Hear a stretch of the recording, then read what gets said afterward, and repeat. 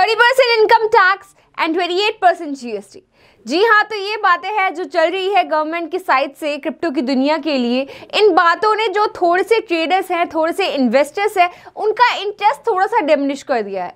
But no need to worry क्योंकि ये आपके लिए, जो कि न्यू इन्वेस्टर्स हैं या न्यू ट्रेडर्स हैं, उनके लिए काफ़ी गोल्डन अपॉर्चुनिटी हो सकती है। तो आज के इस वीडियो में मैं इसी के बारे में आपको बताने वाली हूँ, इसी के बारे में आपको समझाने वाली हूँ, किस पॉइंट ऑफ़ टाइम से, इस सिचुएशन से आप कैसे अपना पूरा बेनिफिट अवेल कर सकते हैं। सो अगर आप इसके बारे में कंप्लीट इन्फॉर्मेशन को जानना चाहते हैं, समझना चाहते हैं then keep watching this video until then because this information is going to be very useful for you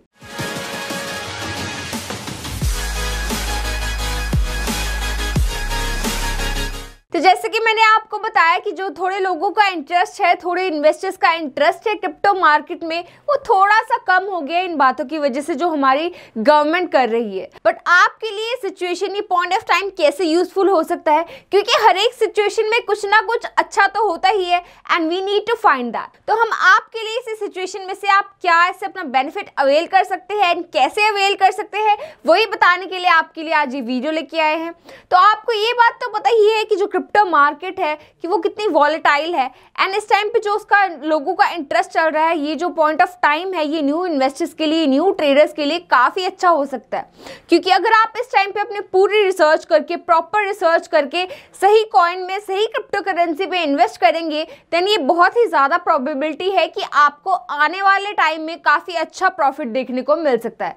काफ़ी अच्छे रिटर्न मिल सकते हैं अपने इन्वेस्टमेंट से। सो so, आप इस पॉइंट ऑफ़ टाइम का पूरा बेनिफिट अवेल कर सकते हैं क्योंकि आपको पता है कि जब भी कोई बुरा समय आता है, जब भी कोई बुरा टाइम आता है या कोई चेंज आता है किसी भी टाइप का तो जो पुराने लोग हैं या पुरानी थिंकिंग है, वो शेड ऑफ़ होती है। तो ये आप सब न्यू इन्वेस्टर्स के लिए न्यू ट्रेडर्स के लिए एक गोल्डन अपॉर्चुनिटी है। एक बहुत अच्छा चांस है कि आप अपने प्रॉफिट को इस टाइम पे मैक्सिमाइज कर सके। एंड ऑल जो गवर्नमेंट है, वो ये टैक्सेशन की बातें कर रही है थर्टी टैक्सेशन तो लग चुका है बट ये ट्वेंटी एट जीएसटी अभी लगेगा या नहीं लगेगा, इस बात पे भी अभी हमें कोई पूरी तरह से क्लैरिटी नहीं है। तो हमें जैसे इसके बारे में कोई अपडेट आता है we will share it with you as soon as possible so I hope कि मैंने आपके साथ इस वीडियो में जो आज आपको समझाना चाहा है, जो आपको आज बताना चाहा है, वो आपको ज़रूर समझ में आ गया होगा।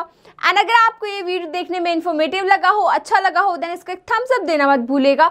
एंड साथ ही साथ हमारे चैनल को भी सब्सक्राइब कर दीजिए, ताकि हम आगे आने वाले टाइम में ऐसे ही आपके लिए और यूजफुल वीडियोज़ लेके आते रहे। So stay tuned with street until the next update.